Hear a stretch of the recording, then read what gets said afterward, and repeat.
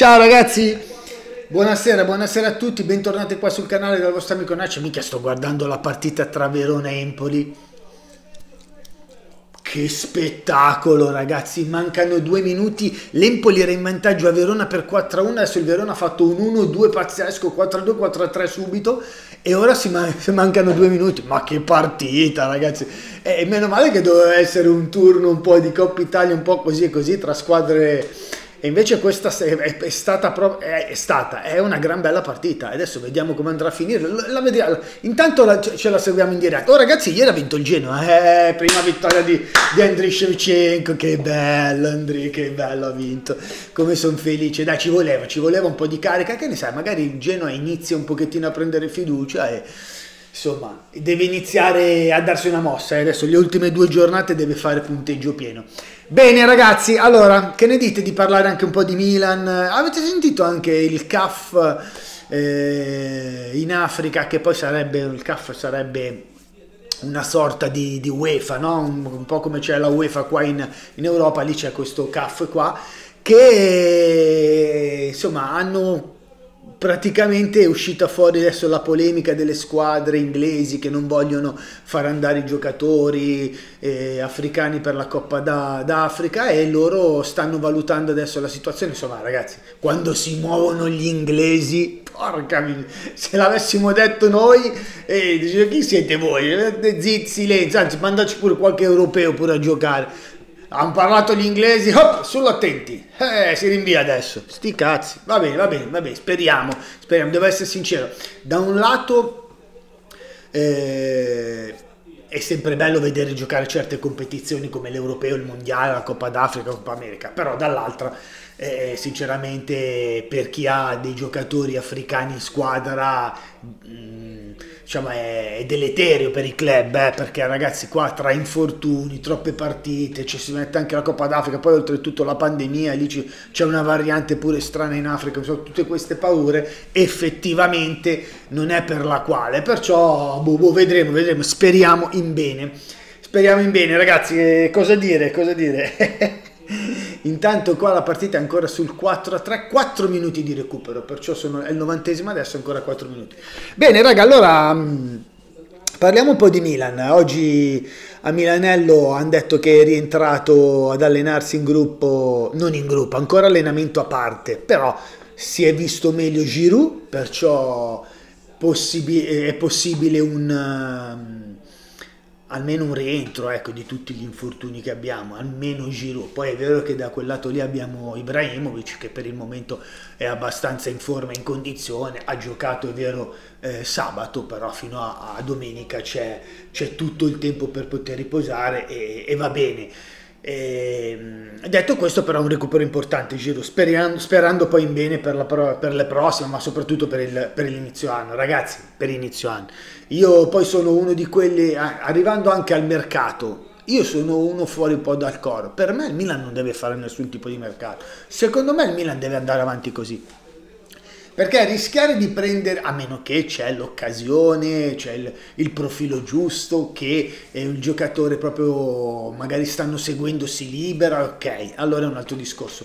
Ma prenderlo, tanto per prenderlo, di corsa, perché forse, perché non forse, perché di qua, perché di là, secondo me è meglio di no, perché poi tanto ragazzi, eh, hai soltanto il campionato, adesso che sei fuori dalle coppe, sì, ho capito, ma non è che l'Inter che è ancora in coppa o eventualmente il Napoli era, o anche l'Atalanta che sono ancora nelle coppe è scontato che arrivino fino alla fine, possono anche solo fare due partite in più e da qua fino a febbraio che inizia ci sono due mesi di campionato quasi in mezzo, un mese e mezzo, perciò è lì che devi cercare, cioè lì non ce li hanno neanche loro le coppe, perciò detto questo, eh, io non, ehm, cioè per una competizione secondo me il Milan eh, con la pausa di natalizia che ci sarà tra, tra una settimana i rientri di, di, di, giocatori che sono adesso infortunati è più che sufficiente anche per quanto riguarda le, il difensore centrale. Permetto Mori Romagnoli che è la, è la, eh, sono i titolari della, de, della, del centro della difesa. E Gabbia eventualmente se si dovesse infortunare qualcuno c'è anche Calulu che lo puoi spostare perché comunque rientrerà Calabria e poi sulla destra hai sia Calabria che Filo Lorenzi insomma per me troppi stravolgimenti non ne deve fare. A centrocampo sì è vero che Benasser è così, adesso bisogna vedere come andrà a finire appunto questa cosa qua del, del, dell'annullamento della Coppa d'Africa, se è vero, se no, se si farà o meno.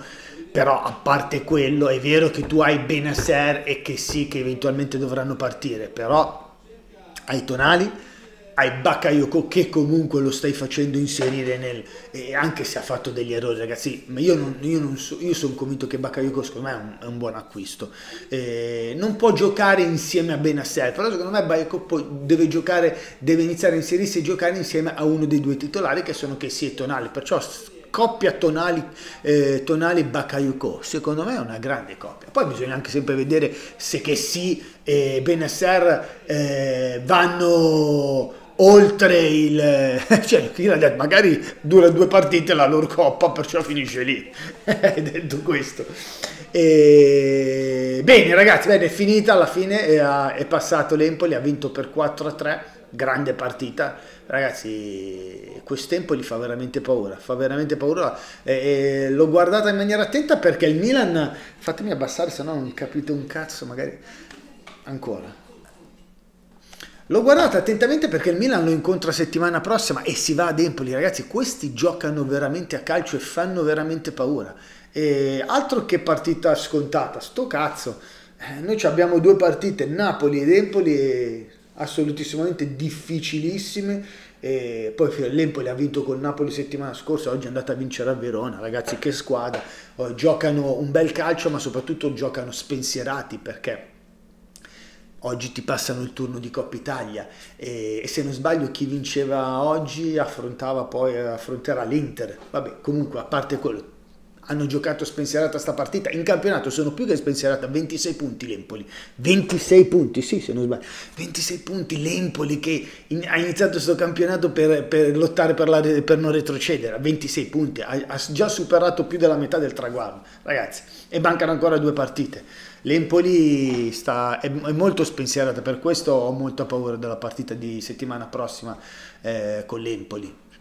Quella col Napoli eh, è una partita da tripla, lo sappiamo, e, e comunque però se uno pensa che l'Empoli eh, è una passeggiata di salute è tutt'altro, perché questi giocano veramente a calcio. Va bene ragazzi, perciò detto questo, io eh, tornando al discorso delle, delle, mm, del mercato, mercato invernale, io se fossi nel Milan, a meno che come dicevo appunto non c'è il profilo giusto, l'occasione giusta, io non farei nessun tipo di acquisto, magari sistemerei i conti perché effettivamente tenerlo fuori rosa se si riesce a mandarlo a giocare, ma più per il ragazzo anche umanamente, tanto oramai è perso, è perso e lo mandi da qualche parte, magari risparmi anche l'ingaggio sempre se qualcuno lo prende però a parte sistemare quelle cazzatine lì, io andrei avanti con questa squadra, non stravolgerei assolutissimamente nulla, nulla. E tirare, perché poi è capace che magari fai tipo la manzucchicciata dell'anno scorso che non ti è servita a nulla perché alla fine sei arrivato lo stesso secondo e non ha mai giocato, gli hai, dato, gli hai dovuto dare lo stipendio, è un giocatore finito, finito con te, ha addirittura chiuso la carriera, perciò eh, rischi di fare queste cose qua io rimarrei bello, bello schiscio, per, ma forse sono una voce fuori dal coro perché tutti quanti vogliono, eh, arriva il mercato, compriamo di qua, compriamo di là. Oramai il calcio sembra quasi che bello è bello festeggiare all'arrivo del giocatore eh, questo piuttosto che quell'altro. Calcio è bello vincere e non è, scont- e non è eh, una cosa scontata che eh, tu compri il giocatore e automaticamente vinci. Non è così, non è così.